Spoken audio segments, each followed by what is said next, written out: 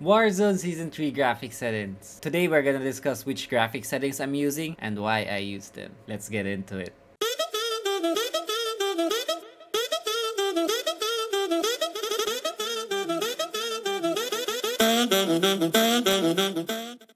Okay guys, so we're here in our graphic settings right now. So first off, I'm using display mode full screen borderless. Why do I use full screen borderless? The reason why I use full screen borderless because I usually alt tab a lot while I'm streaming. I used to use full screen before, but the problem with that was I sometimes get dev errors while alt tabbing. So that's why I switched to full screen borderless and ever since that, I never got a dev error anymore while alt tabbing. However, if you want to maximize your frames per second, you may want to use full screen mode, as that will give you the maximum FPS. Let's move on. My render resolution is 1440p, but I use 80% of it.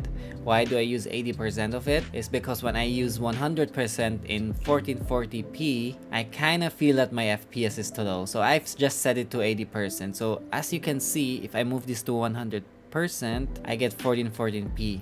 However, if you don't have a 2K monitor or 1440p, just go use 1920 by 1080. Then I use aspect ratio automatic, sync every frame VSync disabled, then custom frame limit custom, here's my settings.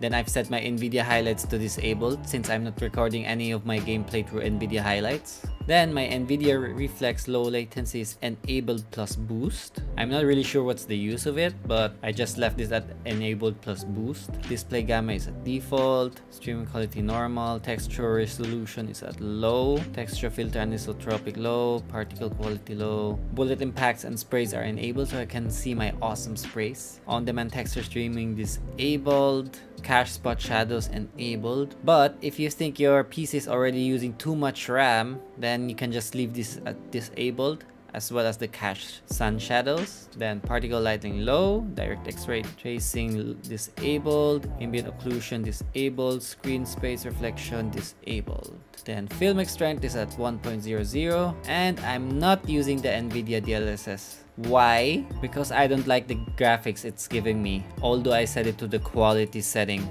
Because it adds some sort of anti-aliasing which you can see I usually leave off. And in terms of FPS, it doesn't actually make a big difference when I use the quality setting. However, with ultra performance and performance, it gives you a slight FPS boost in my experience, but the graphics are horrible. So I just suggest to leave this at off. And then here you can see my anti-aliasing setting is off. So like I said earlier, I don't like any anti-aliasing because it kind of makes all objects smooth like in this image here. And for me, it kind of makes it more difficult to spot out enemies rather than when I have to set to disabled like here. But that's just a personal preference of mine. But this can also give you more frames per second if you leave this at off. Then we have depth of field disabled, world motion blur disabled, weapon motion blur disabled, film grain 0.00, then dynamic resolution at disabled. And and dynamic resolution frame target 60. And since this can also affect your frames per second, I'm gonna show you here my field of view. I'm using 120. So as you can see, it's giving me the widest field of view which you can get in the game. So the advantage of using the biggest field of view available is that you can see more around your corners. So now I'm using 120, but if I switch to 60 or something lower than 120, you can see that my field of view is super narrow. So I get a lot of questions also from console players normally and they ask me why are you moving so fast? So actually, I'm just moving as fast as anybody else. But because on console, your field of view is limited, it seems like as if you are super slow. But in reality, it's just the field of view that's different. So let's move around at 60 field of view. So it seems super slow and sluggish since everything is zoomed in. Right? Everything is super zoomed in. But if I change this to 120, you can see here in the background how it zooms out.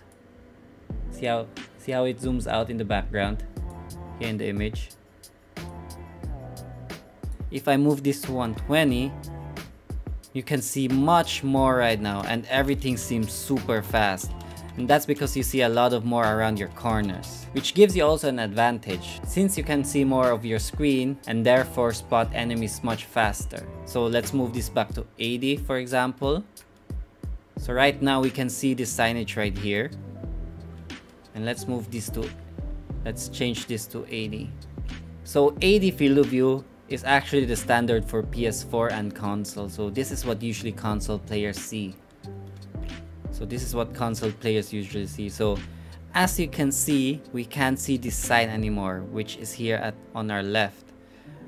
So that's a huge disadvantage to console players and a huge advantage on PC since you don't have this FOV slider on console. So it makes a big difference. The only disadvantage though of using a high field of view is that it may affect your frames per second since you're displaying more of your surrounding. Then I'm using brightness 58.20, then color type disabled, I'm using minimap shape squared, minimap rotation enabled. Then here in telemetry you can display your frames per second counter on, on top of here, the server latency, your GPU temperature, packet loss, and everything else. And lastly, I'm using ADS field of view affected, which I'm gonna discuss in another video. So I guess that's it for my graphics settings. But again, this all boils down to personal preference. You can change these settings however you want. I just wanted to show you my settings because I've been getting a lot of questions on my graphic settings, on my general settings. And maybe this can also help you.